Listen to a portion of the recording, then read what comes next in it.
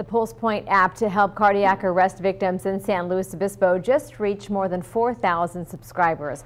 The app had 2,400 subscribers last year, nearly doubling its base to 4,200 this year. Over the past three months, 76 subscribers were alerted to possible cardiac arrest incidents.